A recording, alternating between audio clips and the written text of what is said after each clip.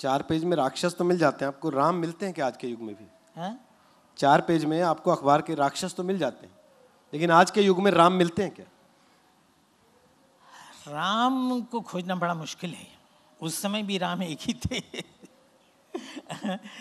राम को हम खोज रहे हैं और हर आदमी कहता है अपने भीतर के राम को खोजो अपने भीतर के राक्षस को खोजो ऐसा कोई नहीं कहता अपने भीतर के राम को खोजो।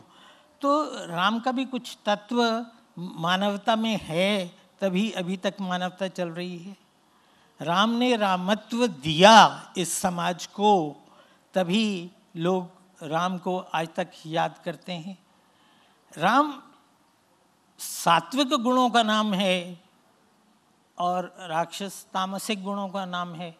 अब किसमें कितना है अनुपात? ये उस पर निर्भर करता है। उनके बीच में कहीं आप संतुलन स्थापित कर लें तो मनुष्य भी हो जाते हैं। तो खोजते हम राम को भी हैं, ऐसा नहीं है कि नहीं है, और आपको मिलते भी हैं। मैं आपको कहानियाँ नहीं सुनाऊँगा, क्योंकि सुनाने लगा तो फिर बात बहक जाएगी। मिलते भी हैं। और उस रूप में जिसमें आप कहिए कि अवतार कहें या कुछ असाधारण वैसा न सही पर रामत्व तो आपको मिलता है।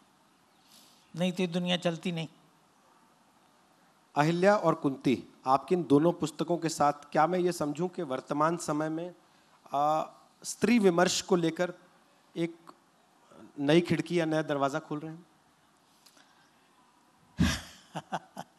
मुझे जो लिखना था वो तो मैंने स्त्री पुरुष के रूप में नहीं लिखा ये तो प्रकाशकों की बुद्धि है। प्रकाशक से कम मुझे ज़्यादा लगता है आलोचकों की बुद्धि पे निर्भर करेगा। नहीं नहीं। कि वो आपको किस खांचे में फिट करना चाहते हैं या बाँध देना चाहते हैं। छापता तो प्रकाशक है। हम्म। वो कहता है कि मुझे ये सीरीज़ चाहिए। ये इसीलिए मैंने कहा कि राम कथा जो 1800 पृष्ठ का उपन्यास है उसमें से इसको निकाला गया। उसी तरह से कुंती महासमर जो 4000 पृष्ठों का है उसमें निकाला गया। जब मैं उन प्रकाशकों से कहता हूँ कि भाई पाठक को तो, के साथ तो ये धोखा है कि वो बड़ी किताब पढ़ चुका है और उसके बाद वो छोटी खरीद रहा है। प्रकाशक को लगता है कि वो व्यापारी है उसका काम है वो करना वो कर रहा है लोग खरीद रहे हैं पढ़ रहे हैं। आपको क्या तकलीफ़ है भाई? तो मैं ये समझू स्त्री विमर्श ज़्यादा बिक रहा है आजकल।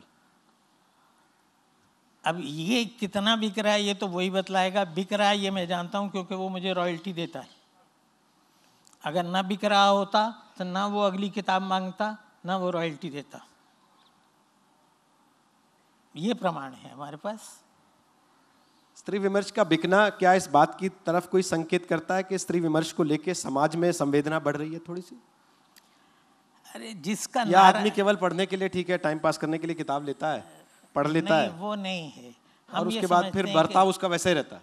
साहित्य को इस रूप में नहीं पढ़ा जाता हम्म। कि लेके किताब पढ़ी रखती साहित्य जब तक आपके अंदर नहीं उतर जाता, आपके जीवन को नहीं बदल देता, जब तक वो आपको कुछ देख नहीं। मैं कहता हूँ, पाठक पुस्तक ही तब पढ़ेगा जब उसको तृप्ति होगी, जब उसको कुछ उससे मिलेगा।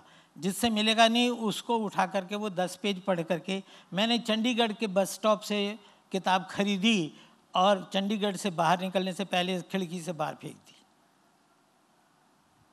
उसका मतलब यही है कि मुझे उस पुस्तक में से कुछ नहीं मिल रहा है। जितने भी पाठक हैं, जैसे भी हैं, वो उसमें एक तो उपेंद्र नाथ अश्क मुझे याद आते हैं, जो कहते हैं, मेरे बड़े भाई बहुत पढ़ते थे, लाइब्रेरी की लाइब्रेरी चाट जाते थे, पर उनका मानसिक विकास रत्ती नहीं हुआ। ये उन्होंने स्वयं अपने भाई के विषय में कहा है। मैं ये मानता हूँ कि ठीक है कि पढ़ने, एक तो वही होता है कि जो होता है कि पढ़ने वाले हैं, चाट गए सारी किताब, लेकिन उन्होंने कुछ भी ग्रहण नहीं किया। पाठक हम उसको नहीं कहते। पाठक हम उसको कहते हैं जो पुस्तक को पढ़ता है, मनन करता है, विचार करता है, मंथन करता है, ग्रहण करता है और उसको अपने जीवन में कहीं अंगीकार करके आगे ले जाता है। तो पाठक तो हर तरह का होता है। लोग खरीद करके पुस्तक पढ़ते हैं और लोग पढ़ करके पुस्तक खरीदते हैं। दोनों तरह के पाठक आपको मिलेंगे कि ये पुस्तक मुझे अच्छी लगी मैंने पढ़ ली है लेकिन मुझे चाहिए मेरे घर में होनी चाहिए। वो खरीद करके ले जाता है। आप पुस्तक मेले में जाएँ आपको प्रकाशक मेरे बहुत कहानियाँ सुनाएँगे कि सुबह स्टॉल खुलने से पहले एक आदमी आके खड़ा हो जाता है और किताब जैसे खुलती है वो किताब उठा लेता है और शाम तक एक पैर पर खड़ा हुआ उसको पढ़ता रहता है, क्योंकि उसके पास पैसा नहीं है खरीदने को, लेकिन उसको किताब पढ़नी है। दूसरी तरफ़ वो लोग हैं जिनको लगता है कि पैसा क्यों खर्च करें? आप खरीदिए, मैं भी पढ़ूँगा। मेरे ऐसे मित्र भी रहे हैं।